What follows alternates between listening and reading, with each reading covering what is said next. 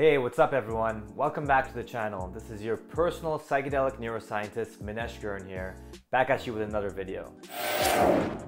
In case you're new to the channel, I'm your tour guide into the complex and fascinating world of psychedelic research. Today's topic, psychedelics versus antidepressants. This video is going to cover everything you need to know about the differences between psilocybin, the compound in magic mushrooms, aka shrooms, and similar psychedelics, and antidepressants. We're going to explore the different ways that antidepressants and psychedelics affect the brain and how they each differently lead to reductions in depression symptoms. And we'll also dive into what you need to know if you're someone taking antidepressants and are considering going on a psilocybin mushroom journey. But remember, this is not medical advice and please consult with your physician before considering doing any of what we discuss in this video. Before we jump in, I want to briefly mention the sponsor of today's video, PsyDelve. PsyDelves are digital collectibles that let users create their own custom trips and give access to a suite of utilities for people interested in psychedelic. Go check out their website, psydelve.com to learn more. Big thanks to PsyDelve for sponsoring this video.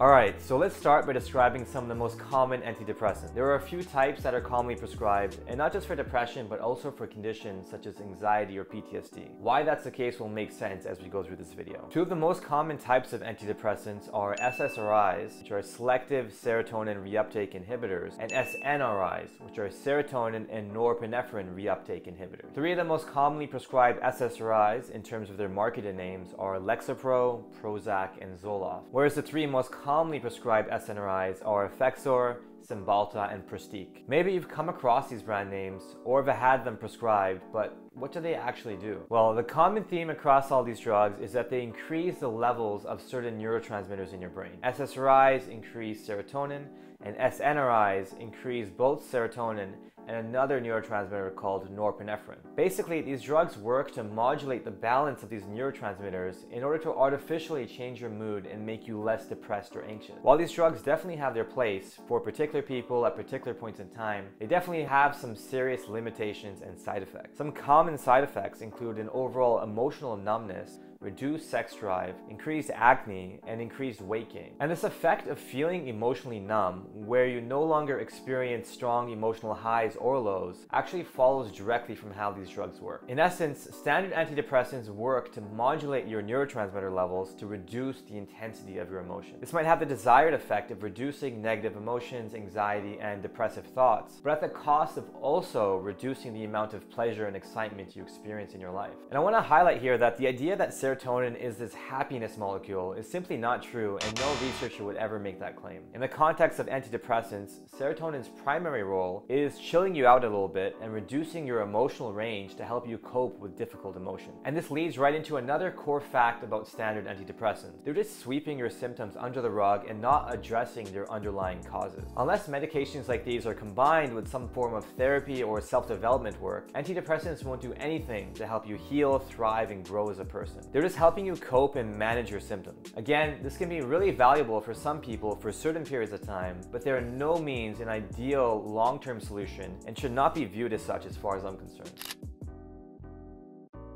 Now that we know the main ways that antidepressants work, let's see how distinct they are from how psychedelics are used therapeutically. First off, rather than sweeping symptoms under the rug, psychedelics affect the brain in a way that induces powerful alterations to consciousness that can be a source of personal insight, emotional release, and the processing of traumatic and repressed memories. Psychedelic therapy is fundamentally a curative approach that is aimed at finding the autobiographical material in your psyche that needs to be processed, integrated, and released in order for you to grow and heal as a person. In this sense, it aims to cut off the symptoms at their roots. The mechanism of how psychedelics work does not involve directly increasing serotonin or norepinephrine levels in your brain like a typical antidepressant. They don't modulate your neurochemistry behind the scenes to make you feel better. They predominantly work by inducing profound and transformative experiences such as emotional breakthroughs and mystical experiences. Another major difference of psychedelics relative to antidepressants is that psychedelics don't do the work for you. In order to get better in a lasting way, it requires conscious and deliberate work on your end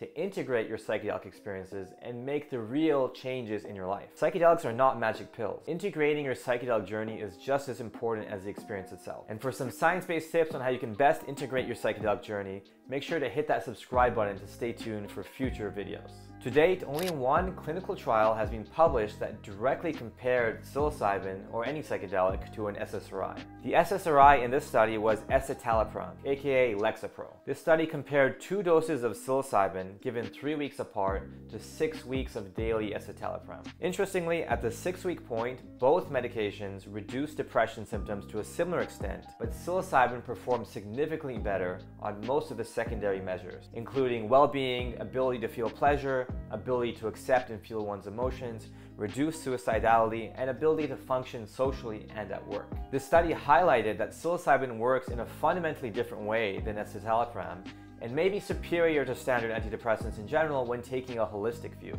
Alright, now that we have a better sense of how antidepressants work relative to psychedelics, let's just summarize the key difference between SSRIs and psilocybin to make all of this very clear. So first, psychedelic therapy is based on a limited number of dosing sessions. Studies have found reductions in depression that last up to a year or longer in some patients after only two or three sessions with psilocybin. In contrast, you have to take SSRIs every day and become dependent on them in order to experience lasting reductions in your symptoms.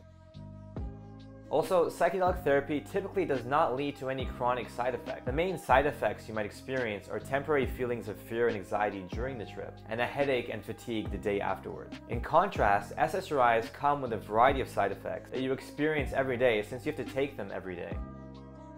Another core difference is that psychedelics can potently reduce symptoms within 24 hours, whereas it usually takes 4 to 6 weeks for standard antidepressants to fully kick in.